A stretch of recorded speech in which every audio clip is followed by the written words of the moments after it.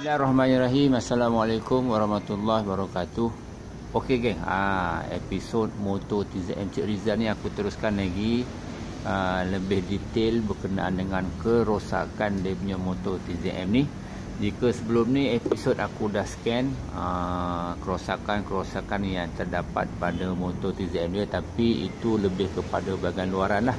So aku dah leraikan semuanya TZM dia. So aku dah nampak lah secara menyeluruh kondisi motor TZM dia ni.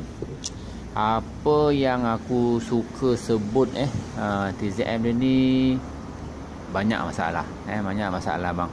Bermula daripada chassis uh, hinggalah ke enjin. Ya, memang kena berbelanja besar untuk pastikan TZM ni uh, berada di kondisi tahap yang terbaik. Okey, so kita tengok satu persatu eh. Ha, aku tengok yang besar-besar dulu. Bahagian part-part kecil enjin nanti aku akan lebih rapat lagi. Geng, pertama sekali frame JZM Cik Rizal ni aku rasa yang terbaik aku kena potong. Aku kena potong dari situ aku gantikan ekor yang baru. Sebab apa? Uh, belakang tu dah banyak yang tak ada part dia. Tempat gantung tuti tak ada, tempat gantung coolant pun dah tak ada eh bracket tepi tu dia dah buang. Okey? Kemudian nampaklah ha kesan potong bawah ni dia dah buang tempat letak tong tuti. Okey dan di sini eh dia bengkok dia bengkok. Ha di sini tak sama balance dengan sebelah sana. Okey nampak eh? Kesan welding lama. Teruk sangat. Ha eh sini pun dah tak ada ni So langkah terbaik aku akan potong eh aku akan potong frame ni dan aku akan gantikan uh, echo yang baru. Ha nampak tak pasal welding. Teruk sangat ni bukan welding kilang ni. Ini welding motor ni pernah bengkok. Ha ni kesan bakar. Kesan bakar. Color dia ni grey. Jadi memang kalau yang terbaik aku akan welding balik hantar welding untuk betulkan dia punya ekor ni. Dan aku kena cari satu chassis second hand lah. Ha, chassis yang tiada grant ok so itu yang kerja pertama yang perlu aku buat lah. Untuk sport rim tayar memang tak boleh pakai. Untuk sport rim aku rasa tak ada pun masalah. Cuma dia punya full set bearing aku kena tukar lah. Radiator radiator pun aku rasa tidak ada masalah. Radiator ni nak tahu masalah selepas siap lah Honda motor kena standby jugalah. Kalau dah siap tengok radiator ni condition tak baik ha, Terpaksa lah cari radiator second hand ataupun baru. Okay, untuk swing arm aku rasa tak ada masalah Cuma tukar dia punya bearing dalam tu. Dan aku akan bersihkan swing arm ni Dan adalah sedikit kerja-kerja welding yang perlu dibuat. Untuk tanduk rusa tak ada masalah. Ha, Untuk disc brake pun tak ada masalah. Untuk T-Fox tak ada masalah Kotak angin komponen tak cukup. Enjin nanti dulu. Kita tengok fork pula. Fork ni kedua-dua fork ni keras. Tak ada henjutan langsung eh. Tak ada henjutan langsung tak ada spring tak ada tak ada main langsung. Ha, jadi ha, memang kering dalam ni. Kering dia punya minyak dalam ni. Ha, tak ada minyak langsung. Dua-dua tak ada henjutan. Fender belakang dah kena potong sebelum ni Okey, sebab motor ni memang pernah accident teruk ni. Dia tak pernah bengkok. Jadi dia nak jimat coil, dia ambil fender ni dia potong eh. Ha, jadi belakang tu dia masuk uh, echo lain lah. Ha, ini pun tak boleh buat apa lah. Kena tukar baru. Terusnya meter eh. Meter ni dari segi meter dia berfungsi lah. Berfungsi. Okey, itu meter speedo. Meter RPM. Meter RPM pun berfungsi. Okey, aku dah test meter temperature dengan minyak aku rasa 50-50 lah. Jarang meter ni lama-lama ni elok. Ha, kebanyakannya motor semuanya dah rosak dah. Meter minyak dan juga meter temperature. Dan dia punya wire pun dah uh, dah if sangat. Uh, dah if sangat. Dan dia punya casing ni dia tepi ni tak ada. Dia punya pemulas 00 tu. Dan dia spray kat sini je warna lama dia spray lah. Ni belakang dia tak spray. Contoh konon-konon nak bagi hitam lah. Lampu tak ada. Ha, senang cerita cover dia dah usang lah. Cover meter ni dah usang termasuk dengan wire. Eh itu tak tahulah mentol-mentol dalam tu. Tengok gayanya macam ni mentol dia terbakar punya ni. Tak pernah diservis eh, dia ada mentol dalam ni. Dan aku yakin mentol-mentol dalam ni semua dah bermasalah ok mentol-mentol dalam ni. Untuk footrest sebelah brake ni uh, skru dia dah melekat dan aku dah cuba buka tak lepas. Kan? Dan footrest ni bengkok eh? Kat sini bengkok kesan jatuh. Ha, jadi nak pakai balik pun tak cantik. Sini pun dah pecah-pecah. Kan? Ha, belakang pun dah pecah. Ok master pump balik belakang memang tak boleh pakai dan jam. Ha. Okay, servo servo aku akan tak hantar servis lah. Aku akan hantar servis ke CS Joy bagi dia tengok boleh pakai tak boleh pakai. Servo magnet engine ni lah macam ni lah rupa dia. Bawah dah pecah. Ok bawah dah pecah. Ha, condition tak berapa cantik lah. Dah pecah-pecah lah ok untuk tangki brake belakang pun dah usang lah Hard pocket masih okey lagi. Spray balik je. Tongkat part-part kecil ni aku senang cerita.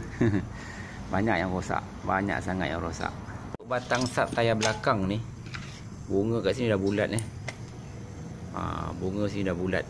Masuk skru pun, masuk spana pun dah susah nak pusing. Terpaksa kena grip betul-betul. Okey.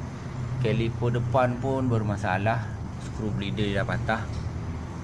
Okey, brake belakang lampu pun bukan original dah pecah belakang.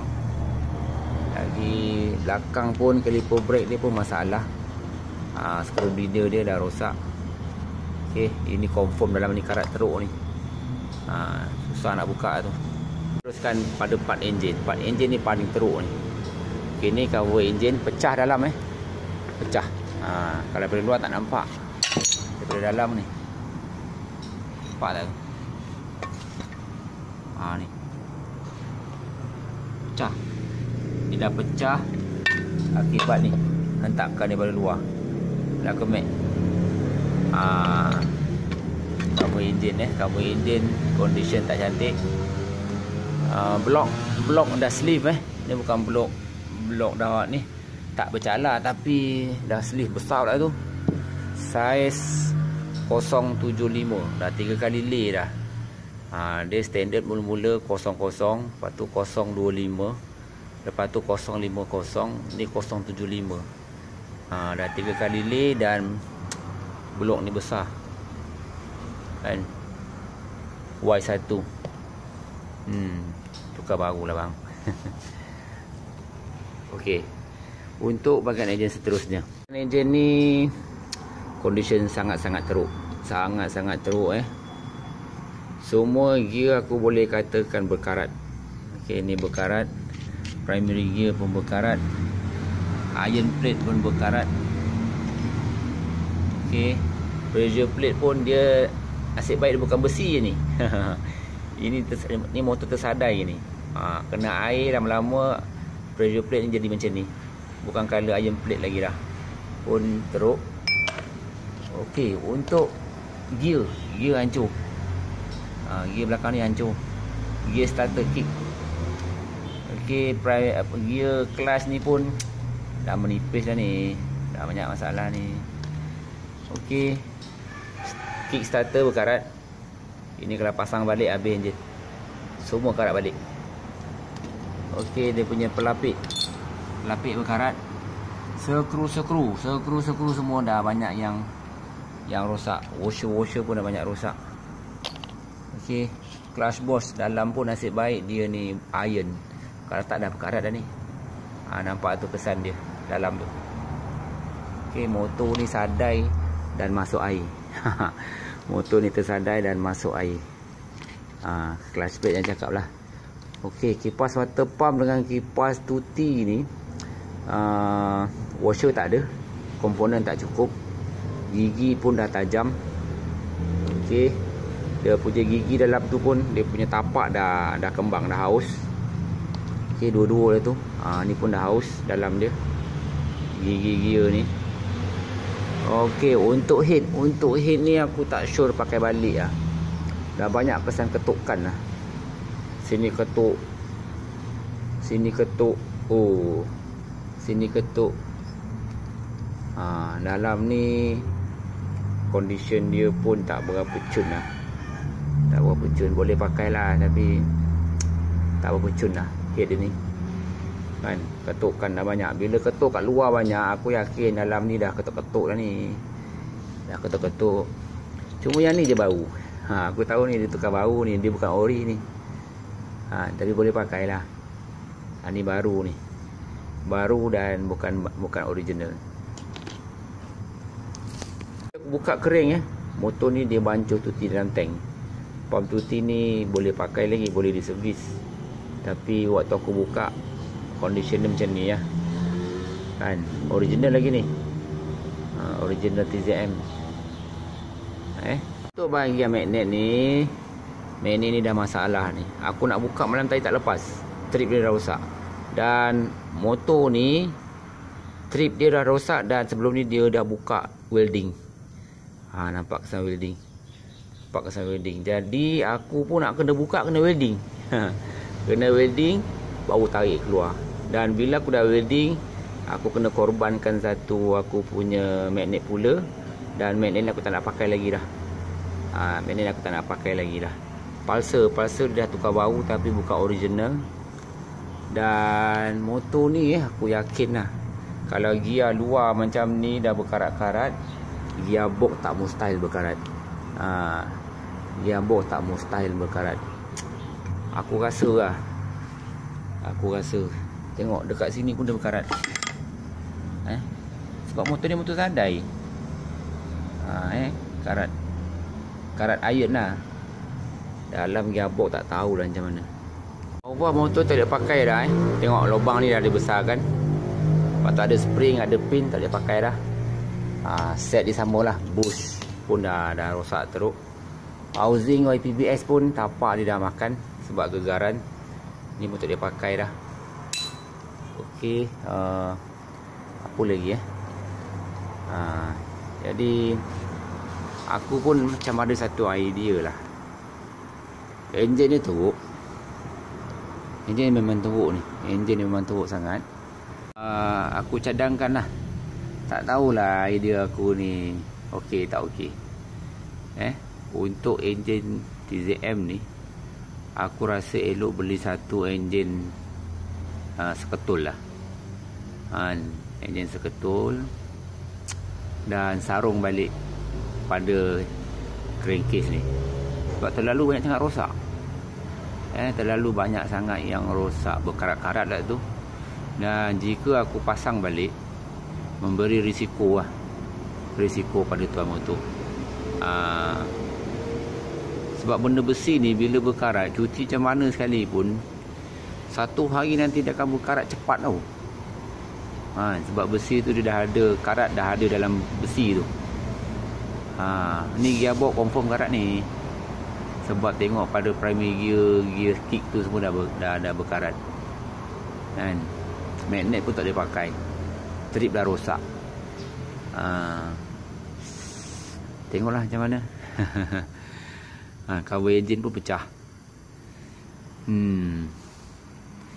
Rasa macam tu lah. Ha, blok tak boleh buat apa lah. Blok jangan pakai lah. Dah besar dah 0.75 lah. Blok slip lah tu. Ha, ni full restore jadi tak boleh main-main buat engine ni besok dah siap engine condemn hey, aku sendiri pun tak seronok kan ha, aku sendiri tak seronok Hmm. Itulah pilihan yang ada. Kalau beli runcit-runcit rugi. Mahal. Beli satu enjin seketul tanpa blok. Head belilah. Head pun dah teruk sangat lah. Kan. Uh, tak apalah. Fikir-fikir dulu. Uh, dan motor ni aku rasa memang berbelanja besar lah full restore. Banyak barang tak boleh pakai daripada body sampailah ke enjin ha, Kabel set jangan cakap lah Kabel set pun memang tak boleh pakai lah So aku rasa itu saja Perkongsian aku lebih detail pasal Condition motor Cik Rizal ni uh, Apa-apa pun aku akan mulakan kerja-kerja frame dahulu Dan aku akan susuli kerja-kerja enjin Akhir sekali barulah kabel set.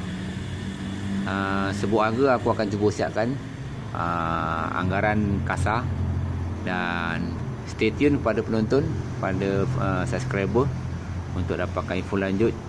Uh, so jangan lupa share like dan juga komen video dia aku.